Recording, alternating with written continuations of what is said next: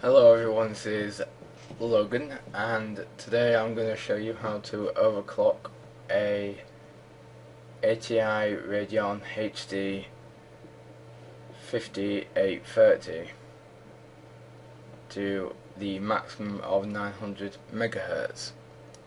Now, first of all, I apologise for the very warm colour on the video. It perhaps records my flux for some reason, which makes the, makes it come out really warm. But believe me, it's not that bad on my screen. Anyway, today I'm going to be using MSI Afterburner to overclock my graphics card. So let's just open that up. I've never attempted to record on my desktop before, so I don't know how slow or you know laggy it's going to be. Apparently I'm only getting like 19 FPS on my desktop at the moment, which I don't know why. Oh. Anyway, so here is the clock speed. The default for the core clock is 800 megahertz, so you'd be safe to overclock that to 900. The core voltage is locked for some reason. So is the shader clock, that is also locked on this card.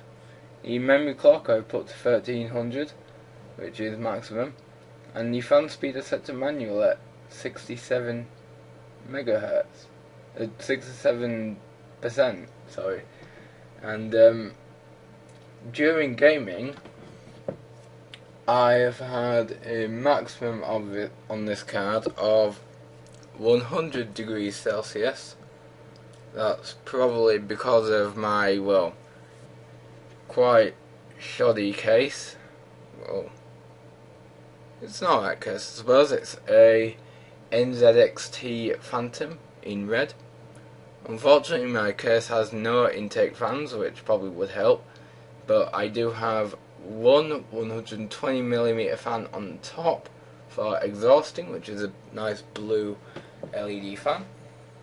I have one on my PSU, which is just a normal PSU fan, and two what looks to be 14 millimeter fans on the side, which again are exhaust fans. So I have no idea why my cooling on my case is so, you know, crap, but it is.